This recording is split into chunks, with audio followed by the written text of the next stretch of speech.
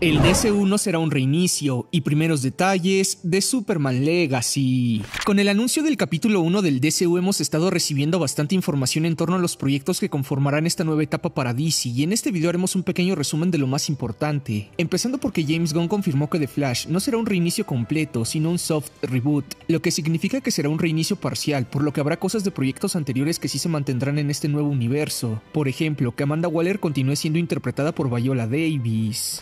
De acuerdo con el medio de Hollywood Reporter, el director James Mangold estaría en pláticas con DC Studios para ser el encargado de dirigir la película de Swamp Thing. Incluso el propio director un día después del anuncio de este capítulo 1 publicó vía Twitter una imagen de la cosa del pantano. James Mangold ya tiene experiencia trabajando en adaptaciones de cómics, debido a que él dirigió Logan, una de las mejores películas de Marvel. El actor Tanner Buchanan, a quien seguramente conocen por la serie de Cobra Kai, ha mostrado interés por unirse a este universo cinematográfico, específicamente en el proyecto de Batman, Brave and the Bold, ya que quiere es el Robin de Damian Wayne. En lo personal creo que ya está muy grande para darle vida al hijo biológico de Bats, pero no descartaría que se interprete algún miembro de la Batifamilia, ya que los fans piden que le dé vida a Nightwing o Red Hood. También James Gunn nos ha revelado cuáles serán los cómics en los que se inspirará para crear las películas de esta nueva etapa, los cuales son All Star Superman, Batman de Grant Morrison, Absolute Swamp Thing de Alan Moore y The Authority de Warren Ellis y Mark Miller, aunque se aclaró que no serán adaptaciones tal cual de estos cómics, sino que buscan trasladar la esencia de los personajes e